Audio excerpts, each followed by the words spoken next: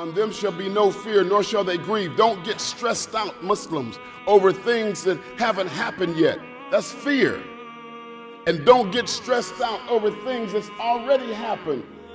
Everything has been decreed. The most difficult pill for the Muslims to swallow is article number six of our deen, the qadr of Allah. We don't want to admit it. We have to give each other a reminder. Allah gave us the name Insan. Insan, literally translated, means the creature that has to be reminded. Because out of everything that Allah created, we're the only one that forgets.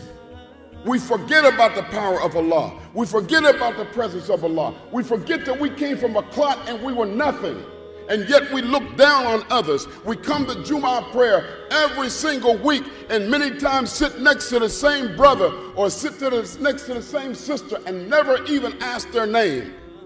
We don't care. With the prophet that taught us how to love and continues to teach us and correct us to this day the prophet that had the least amount to work with, but the biggest job of all the prophets combined. He had to teach us and still teaches us. Read the Sirah, Akhi. He has to teach us how to wear our clothes, how long, how short, how to wear our beard, how to laugh, how to cry, how long to cry, how loud to laugh, how to drink water, how to drink milk, what to say before we go to bed, what to say when we wake up. SubhanAllah. How to please our wives, how to teach our children, when to pray, when not to pray, how to break our fast. Every single thing he had to correct. All the other prophets had a specific task or specific group of people to talk to. And a specific thing that they had to correct.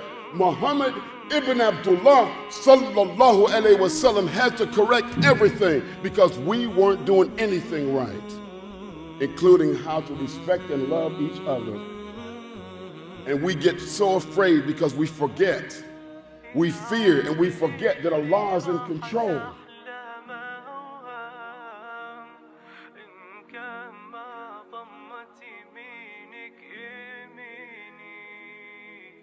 يا وجدي